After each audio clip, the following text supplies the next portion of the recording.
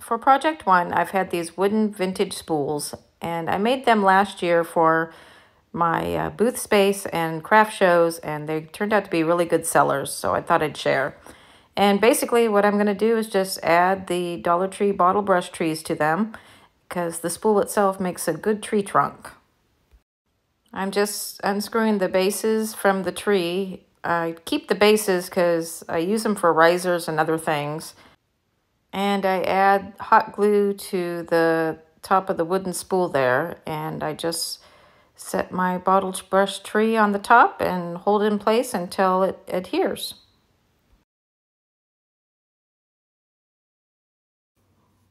I know there are quite a few videos with bottle brush trees, but as long as you can find some unique items to put them in and display, they make great fillers for your home decor. To embellish the trees further, I have these wooden tags that I believe I purchased at Walmart at the end of the Christmas season last year. I tie a tag to each one of my trees and I'll reinforce it with a dot of hot glue and that'll complete my project. If you find these tags at the end of the season when the prices are reduced, um, they're great to have on hand because you can add them to just about anything and it just embellishes your project to the next level.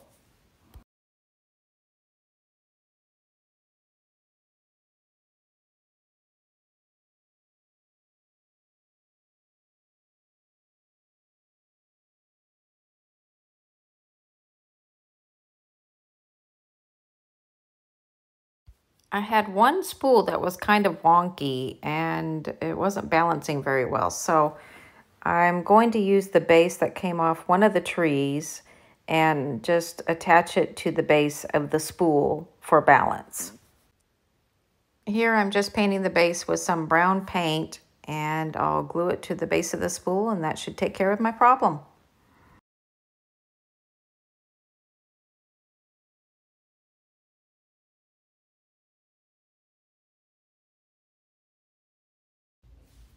And here are my trees all finished. The vintage wooden spools really make a great tree trunk for those bottle brush trees. Um, and the tags are just an added embellishment, which completes my project. Let me know in the comments, what do you think of these upcycled vintage spools?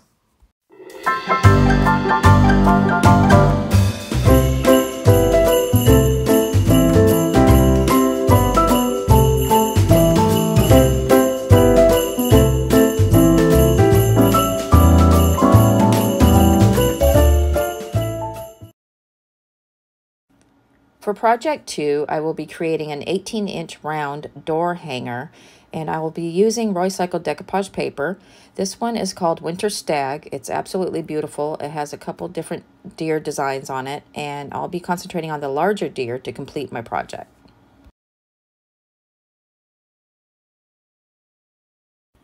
Here I have an 18 inch wood round. I believe I purchased it at Hobby Lobby. And my vision for this project is to create an ombre look in the background before applying my decoupage. I'm using Dixie Belle Chalk Mineral Paint in Amethyst, and I'm just going to give it a base coat on the bottom half of the wood round before introducing the next color.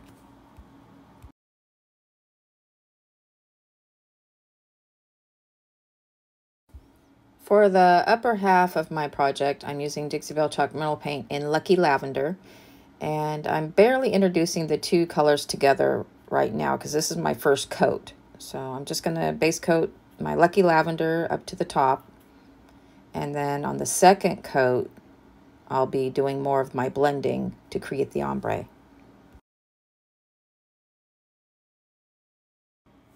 I've got my two coats of paint on the board and I want to make sure it's completely dried before applying the second coats.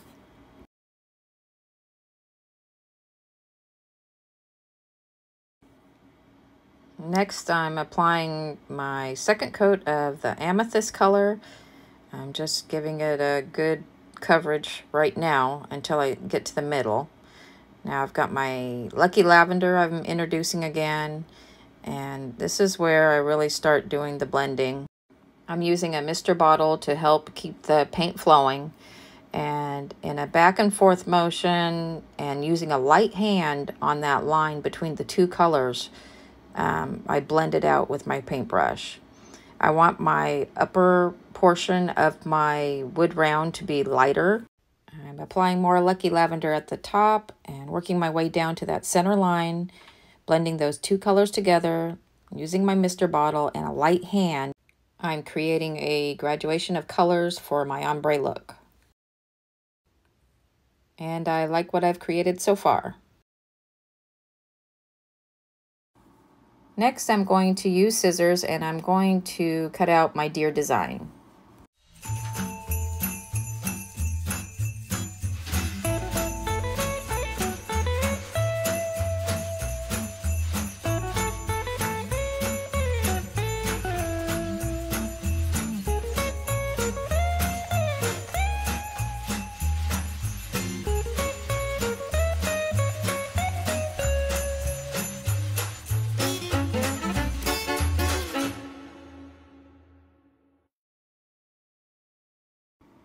Okay, I've got my deer removed from the paper and now I want to get closer to the image and remove a lot of that white paper that's um, around it. I don't want to decoupage this onto my board and have all that white exposed. So I'm trying to get as close as I can to the deer um, to get it removed. I'm using a water method on the body of the deer here. Um, what you do is you dip your paintbrush in water and you kind of outline your design where you want the paper to be removed and you just lightly pull it off. It comes off easy, but you just got to be careful you don't tear too much. I'm just working my way up to the antlers because once I got to the ears and things, it was getting kind of jagged and I needed a smoother cut line when I got to the antlers. You'll see I'll use I'll start using scissors.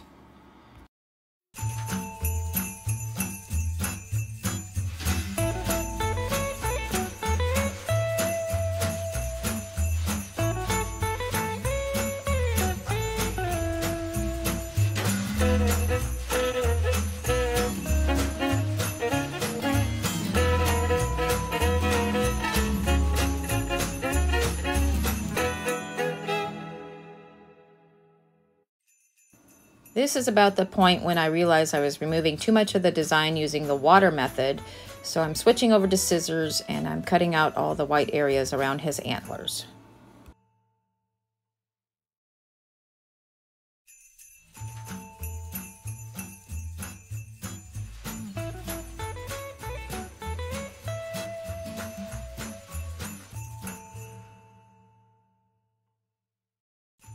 Whoops, I got a little too careless with my scissors, but we can decoupage that piece of antler to my project easily enough. Okay, before going straight to the board and decoupaging my deer, I need to make sure that the purple will not show through the lighter color areas in the design. So to do that, I'm going to paint the back of my image white um, to block that purple from coming through.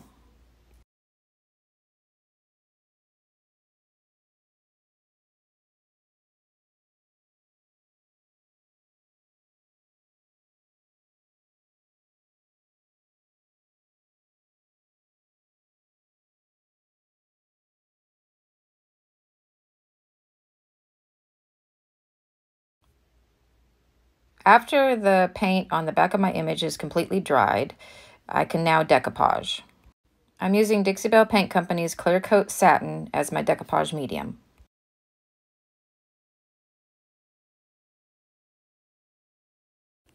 To begin with, I'm just going to apply the clear coat to the antlers because they're so delicate, and then I'll apply the image to my board and work in sections.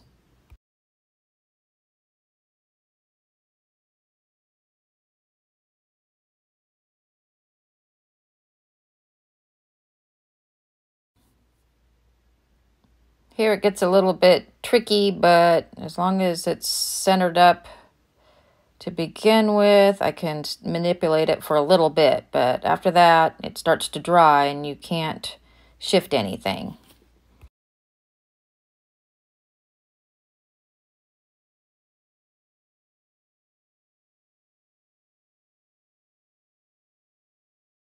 Now that I've got the antlers laid on the board, I'm going to start working in sections to decoupage the rest of my image.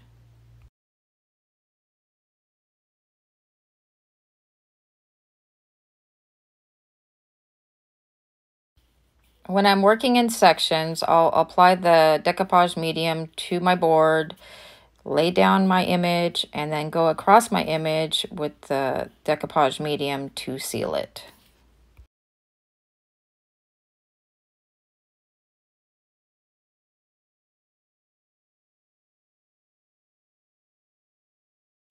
I'm not too worried about my entire board being clear coated right now. I just want to ensure that my image is sealed and that everything's laying down. I just need to attach my antler that I removed with the scissors and we can go on to the next step.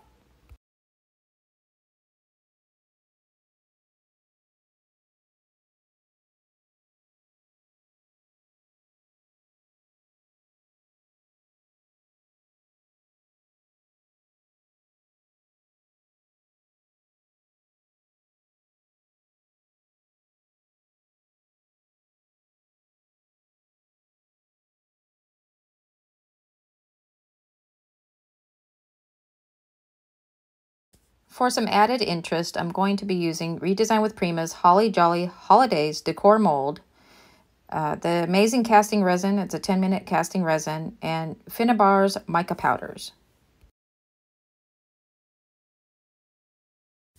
First, I'm going to dust the molds with the mica powders.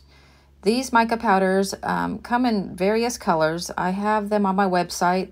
They're in six packs and these color greens came from the mica powder pack Vintage Roses.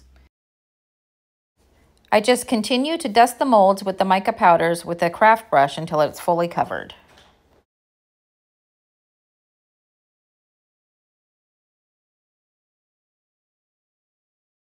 Next, I'm using the 10 minute Amazing Casting Resin. It comes in parts A and B. You measure them exactly the same, and I pour them in another silicone cup and stir. And I carefully pour into the mold, being careful not to overflow the design, and I wait 10 minutes for it to cure.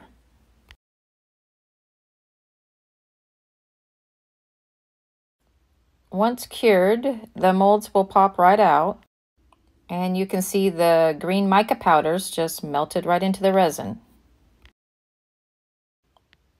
For the next step, I want to create a mask to cover my image on the board because I want to fleck white paint as if it looks like snow flurries on my piece.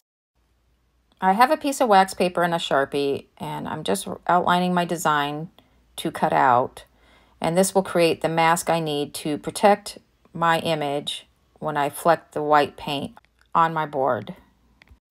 Hindsight, I could have probably thought this through and flecked my board with white paint before applying the image. But when you're creating, as we all know, things come to you as you're moving along. And this is my way of being able to still do what I want to do without disrupting my design.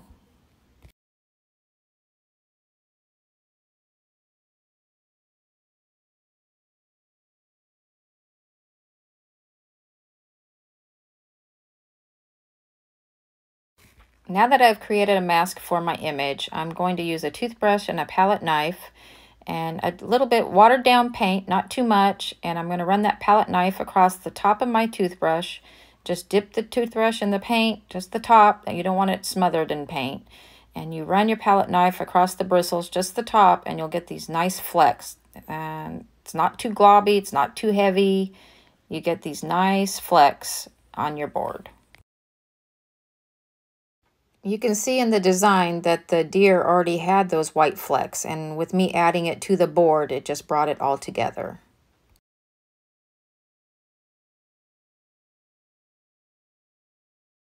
Next, I'm going to apply the molds to my board, but first I want to make sure that the sides of the molds are not white and are covered in green. So I'm just going to cover the sides with green paint and then I'm going to apply red to the berries that are in the mold.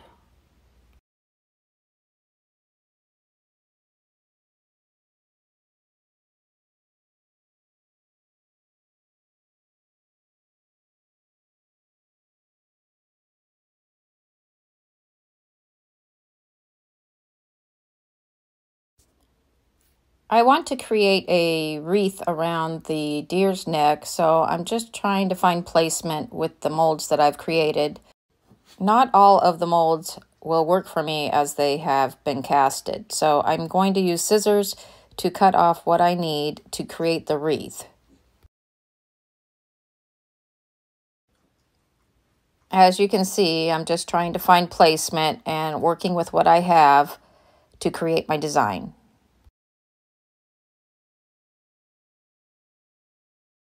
Once I've created a wreath design, I'm going to use Titebond wood glue to place all the molds on my project.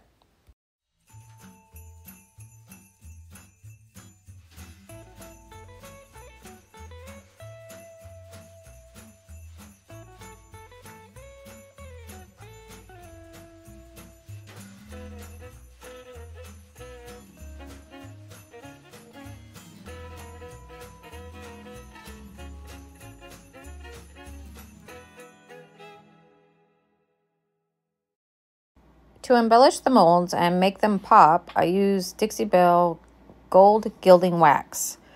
All I do is just put a little on my fingertip and I rub the high points of the molds and it really makes them stand out.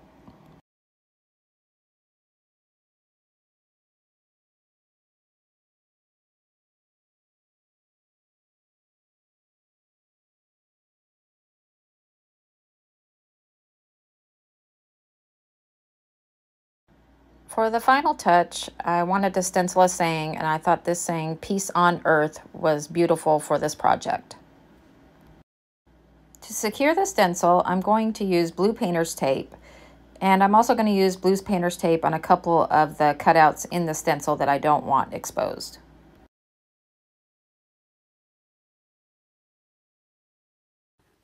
I'm using a stencil brush and Dixie Belle's Gold Gilding Wax to stencil the words on my project. I found the Peace on Earth stencil on Amazon, and it actually came in a pack of 20. There were different sayings and designs, and I thought they were all great. I'll leave a link in the description below if you're interested.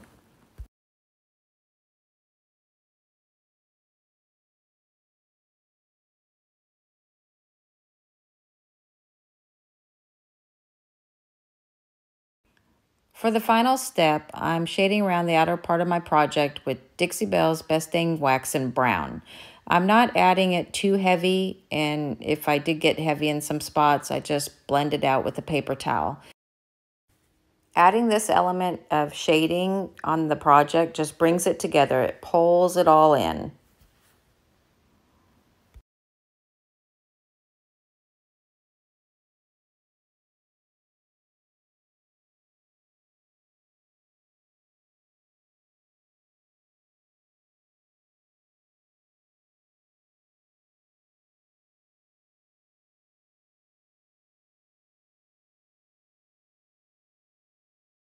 And here is the final look. What did you think of this project? If you are interested in any of the supplies I used, I will link them in the description below.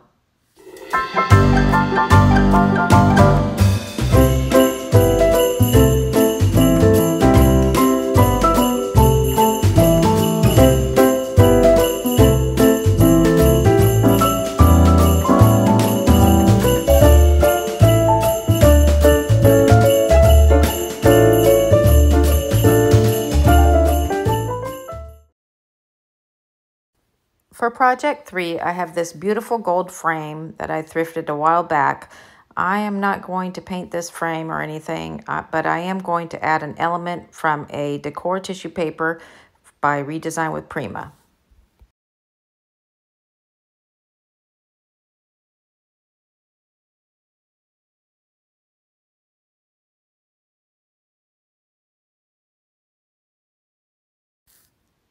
Here I have a portion of Redesign with Prima's decoupage decor tissue paper called Holly Jolly Hideaway.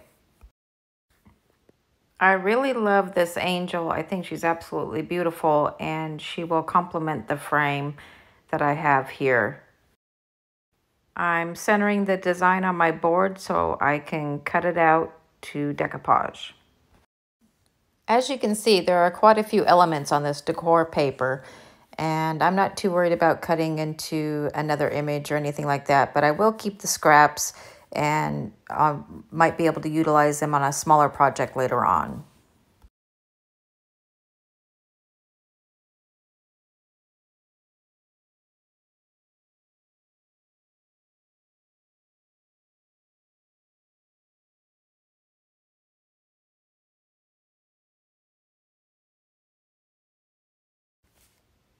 I'm going to begin by painting my board white so that when I decoupage my image to the board, it's more bright and vibrant. If I were to leave the board the color as it is in its natural state, my image would be more muted.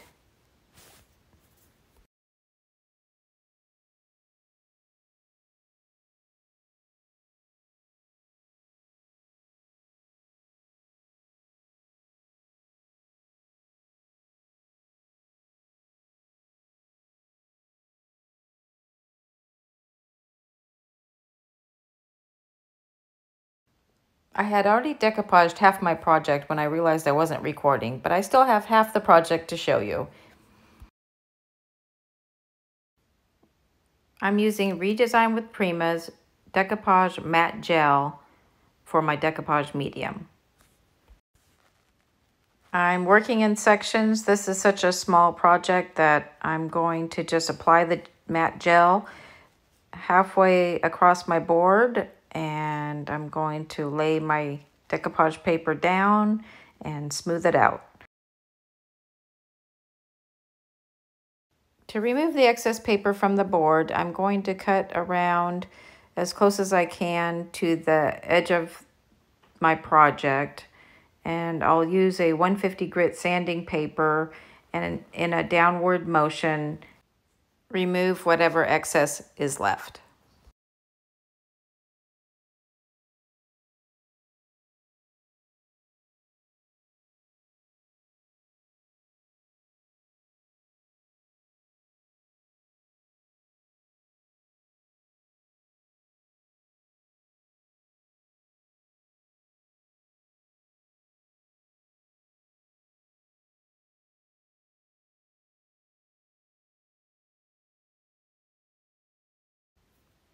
And this project is finished. I just need to place it in the frame and we'll turn it over and check it out. I just love her. That frame is beautiful and it complements the angel wonderfully. What do you all think?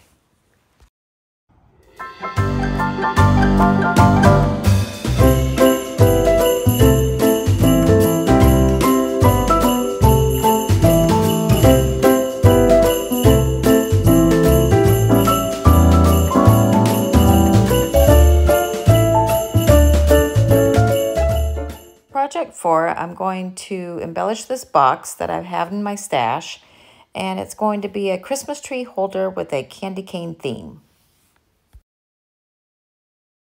I'm starting off by using Dixie Belle Paint Company's Chalk Mineral Paint in Honky Tonk Red. I'll apply two coats and we'll go on to the next step.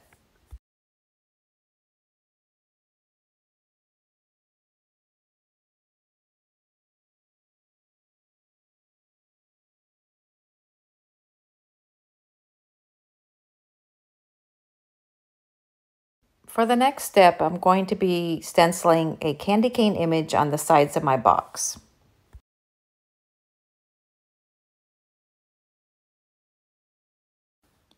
Here I have a candy cane stencil.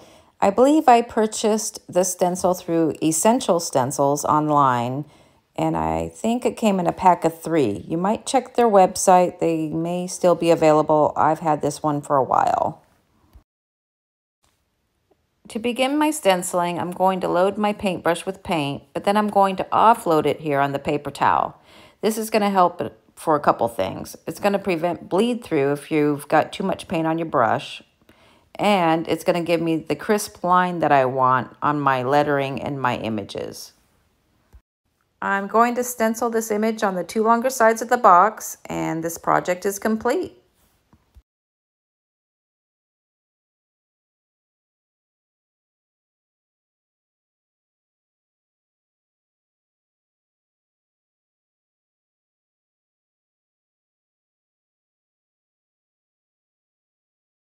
And here's the final look. These boxes make great Christmas tree holders. You can stencil any design with any theme.